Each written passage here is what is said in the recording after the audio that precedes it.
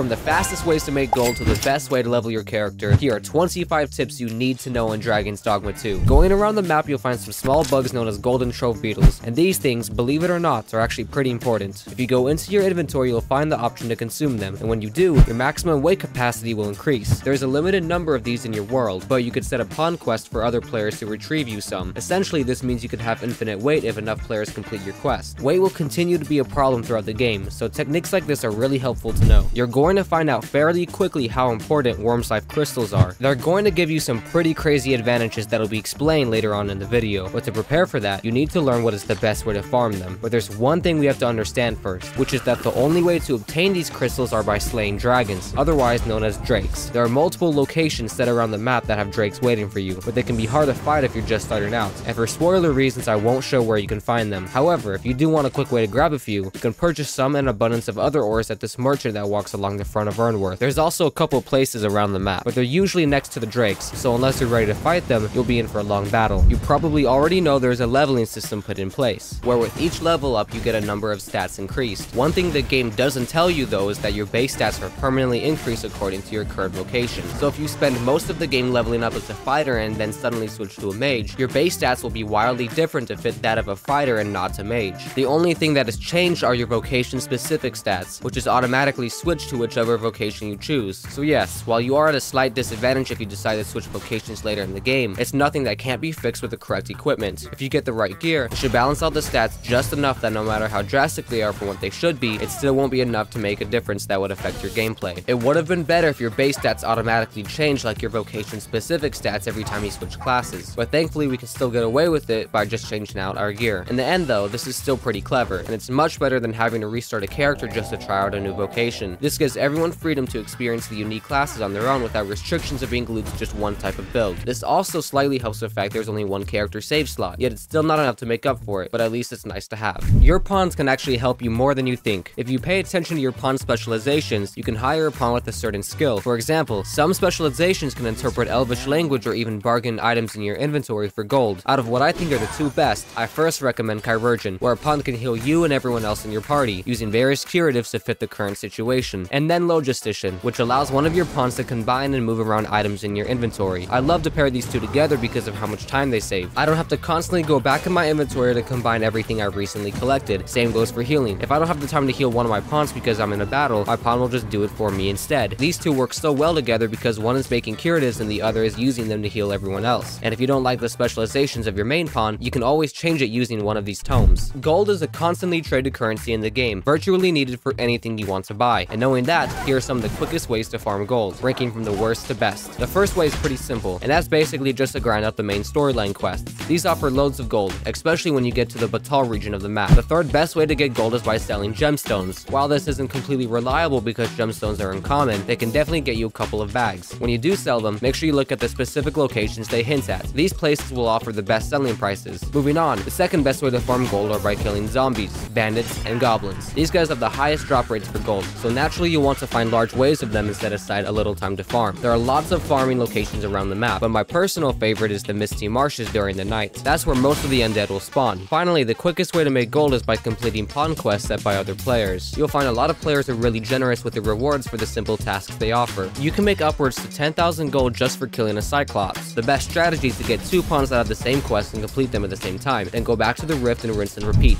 The director of Dragon's Dogma 2 quotes, Travel is boring? That's not true. It's only an issue because your game is boring. All you have to do is make travel fun. While his claim is true to an extent, with plenty of enemies and obstacles placed around the map, it doesn't change the fact that walking can still be pretty tiresome in open world games, and unfortunately for us, there aren't many options for fast travel in Dragon's Dogma 2. But thankfully, there are two quicker ways to get around. First is the ox cart. While commonly known, you can pay a small fee of 100 gold to get a ride. The best part about it is you can sleep off the trip. If I ever need a quick way to get to Melve or Vernworth, I know I can always rely on this. Next are port crystals, and while they're not as convenient as an ox carts, you can place up to 10 of these around the map. You can find them in certain towns too, like Harve or Vernworth. You'll be able to fast travel between any of these, but the only way to activate them is if you use a fairy stone. You can purchase either of these at specific vendors, like the one at Bay Westside Shrine located in Battahl. The official way to get there requires you to complete all of Captain Brant's quests. No spoilers though. Remember when I talked about Wyrmslife crystals? You'll need those to buy port crystals and fairy stones, but to find the merchant who sells them, you'll need to make your way to Bakbattahl and reach the beach from there. Then go over to the road across the sea and you'll find the merchant, known as the Dragonforged Who can sell you the port crystals and the fairy stones. And for our little bonus tip, there's 5 free Wyrmslife crystals sitting next to him. He doesn't just sell port crystals and fairy stones though, he offers you the ability to upgrade your equipment to his final stage. I was surprised and excited to discover this, and that's also when it hit me just how important Wyrmslife crystals are. One thing I wish I knew sooner was that you can actually split your weight between your pawns. I've gone through a fair portion of the game being heavy or nearly encumbered, and it was annoying especially because I made my character big enough to carry a lot of weight. It really put a strain on my movement speed, I always had to sell a handful of my equipment just to make up for it. That was until I learned you can actually split it with your pawns. Despite the give button being there every time I clicked on an item in my inventory, it never hit me to try it until way later in the game. And don't worry about losing any equipment you give them. If they return back to their master, anything they had in their inventory is sent to your storage. Talking about storage, this leads us into our next tip, and this is super helpful to know, so pay attention. Food has a tendency to spoil quickly, and it's annoying when you finally go to rest at a campfire and find that you can't use anything you collected from the previous adventure.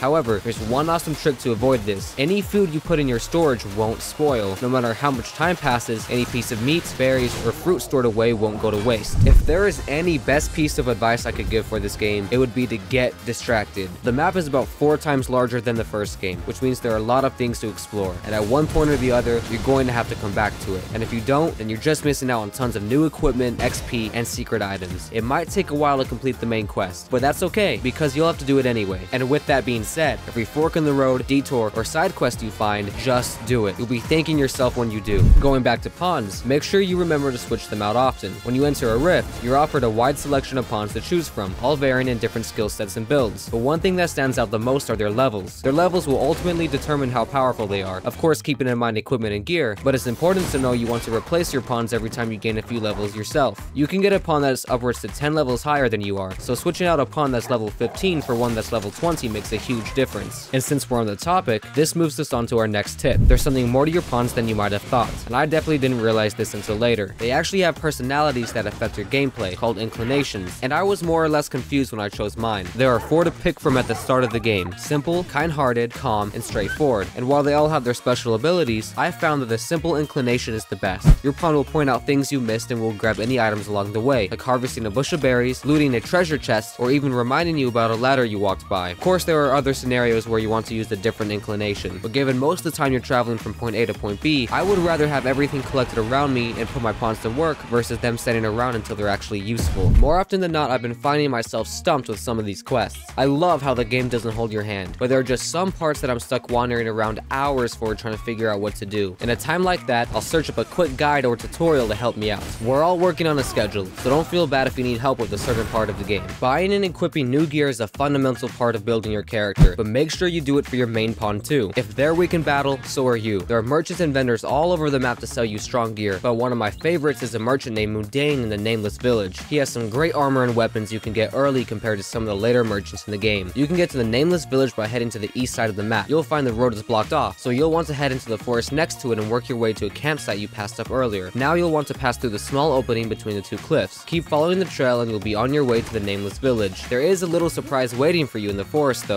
so keep an eye out. As for our 14th tip, you might want to pay a little extra attention to your surroundings. Randomly you can find hidden coins known as Seeker's Tokens, and when you get enough of them, you can exchange them for rewards at a guild hall. There are 240 of these coins placed around the map, so you're gonna be looking for these for a while. The rewards you can get are pretty good, like rings and armor. They're expensive though, so don't expect to purchase everything at once. You may not have known that there is a free way to get a house early in the game. We all know how frustrating it can be trying to camp out in the wilderness or being flat broke that you can't afford a night at the inn. But don't worry, because if you haven't already, head over to Vernworth and walk past the merchant's quarter. You'll find this lady that wants you to watch over her house for 7 days. For rent free, you'll be allowed to stay here until she gets back. Can even use her storage in the meantime too. And even after your 7 days are up, you'll be allowed to purchase the home for 20,000 gold. Not a bad price for a house if you ask me. Later on, one piece of armor will cost you well over 40,000 gold, so take this deal while you can. There are towers placed all over the map, and if you've taken the time to explore some of them, you'll find many of them have about 3 to 5 chests in each one. These are a great way to snatch some valuable materials and items, and they also have a ballista at the top too. Passing on to our 17th tip, it's good to frequently purchase items at different merchants every day. It takes a couple of in-game days for a merchant to restock, so it's good to buy out whatever you need from them so that timer can start. That way, whenever you need to use those materials, you'll always have plenty on hand. After fighting a strong boss or discovering a vault full of treasure, make sure to save your game. There's been many times I'll fight multiple bosses one after the other in a short period of time, but I end up dying on the final one, setting me back to my last save before I fought any of them. I could have avoided avoided all of this if I just saved once or twice between boss fights, which would have saved me so much more time in the long run. But because I didn't, I was forced to have to redo everything I just worked for, so don't make the same mistake I did and remember to save. Raw ingredients can weigh a lot if you don't do anything with them. To fix that problem, combine all of those herbs and materials to make yourself less heavy and actually have consumables to use. To celebrate for our 20th tip, here's a way to kill enemies and bosses faster. If you do a little research, you can figure out which status effects your opponents are weak to. The awesome part is that debilitations and status effects stack together,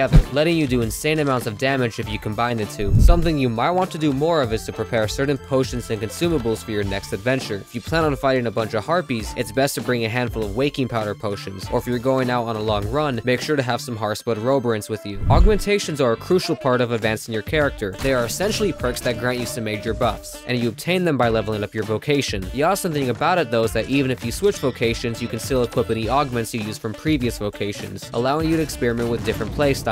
So to get the best out of this, when you max out a vocation, make sure to switch right away to a different one so you're not wasting any time, and that'll help balance out your base stats too. There are multiple ways to get Rift Crystals, known as RC. That's done by either stumbling upon them in a treasure chest or activating a Rift Stone. However, the best way to get Rift Crystals is by getting other players to hire your pawn. The next time that happens and you rest at a house or an inn, your pawn will report back to you with the quest log talking about all the things they did together. You'll see in the quest log that you received a certain amount of Rift Crystals. The Rift Crystals price is determined by the level difference between you and the pawn you want to hire. So while you can't set the amount it costs for someone to hire your pawn, you should still be able to make bank from this simple tactic. The only problem is trying to convince players to hire your pawn, but I think you know what to do. Bosses like Griffins, Ogres, and Cyclopses have a respawn timer, but that respawn timer is only activated when you spend time away from the region they spawned in. For smaller bosses like Cyclops and Ogres, it takes 3 days for them to respawn, and more prominent bosses like Drakes and Chimeras take 7 days. And knowing this, let that move us on to our final tip. Using that respawn timer strategy I just talked about, you can essentially create a farm route around the map that covers multiple bosses at once. Take a certain region around the map and hunt down all the bosses in there. Leave the region for the next one and hunt all the bosses in there too. Repeat this cycle until the bosses in the first region spawn back. Or if you're just focused on one region, kill the boss you want and leave that region to rest for 3 or 7 days, either by dozing off on a bench or resting at an inn. Then go back to whatever hunting spot you want and grind away. As a reward for staying until the end of the video, here's the 26th bonus tip. One thing we've all been waiting for is the chance to change our appearance without the annoying cost of microtransactions. Since the new update just dropped, now we can. Go into the Pawn Guild in Vernworth, you'll find a new tome called the Art of Metamorphosis. For 500 Rift Crystals, you'll be able to change you or your main pawn's appearance. But in order to use it, you have to take the book to a barber. Those are 26 tips you need to know in Dragon's Dogma 2. Thanks for watching and subscribe.